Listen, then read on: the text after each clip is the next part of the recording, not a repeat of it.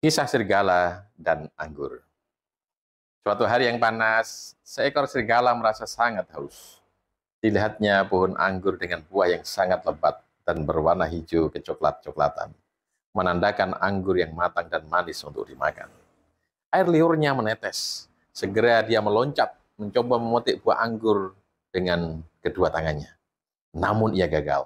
Dicoba lagi tetap tidak berhasil. Berkali-kali dilakukan dengan sekuat tenaga. Dicoba lagi dengan cara yang lain. Tetap saja tak satu pun buah anggur tercapai tangannya. Serigala itu akhirnya menyerah. Serigala menatap ke atas, tepat ke arah buah anggur yang masak dan lebat. Kembali, air liurnya menetes. Ia pandang lagi buah anggur itu. Kali ini ia membatin. Ah, anggur itu pasti masam, tidak baik untukku. Katanya dan serigala segera pergi. Kalau satu tali putus, maka yakinlah ada satu tali lainnya. Yang kita yang kita inginkan belum tentu baik. Apalagi kalau kita tidak dapat mencapainya.